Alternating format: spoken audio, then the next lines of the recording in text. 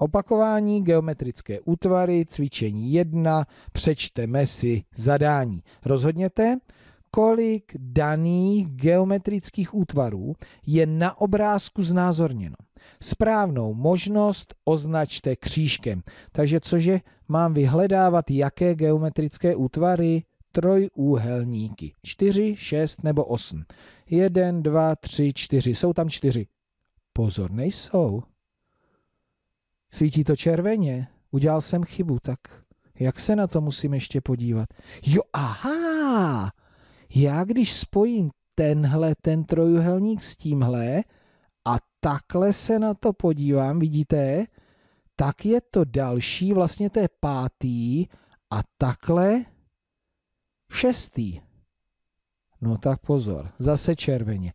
Aha, já jsem to vzal ta- podle téhle, ale já to můžu vzít ještě podle téhle té čáry, takže tady je ještě další trojuhelník a tady je ještě další. Takže by jich mělo být 8? Je to tak. Takže 1, 2, 3, 4, ty, co jsou vidět hned a potom pospojované. 5, 6, 7, 8. Vidíte je také? To jsem teda špatně se díval a neuvažoval jsem. Teď jsem se nechal nachytat. Co mám hledat? Čtverce 4, 5, 6.